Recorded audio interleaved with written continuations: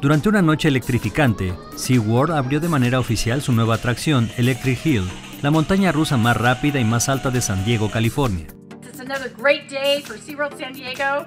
We've launched the tallest, the fastest roller coaster in San Diego. It's to go 150 feet up in the air, more than 60 miles an hour, and during the day have an upside down view of Mission Bay.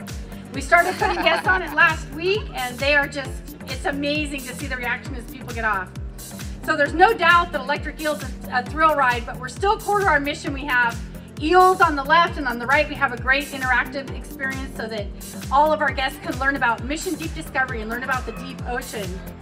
Electric Hill ofrece a los visitantes un viaje de 45 segundos a una altura de 45 metros, con una velocidad de 96 km por hora.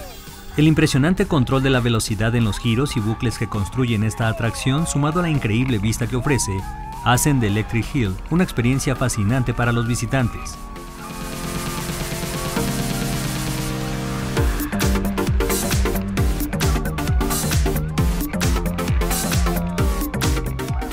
Con información e imágenes de Estefanía Alanís, enviada Notimex.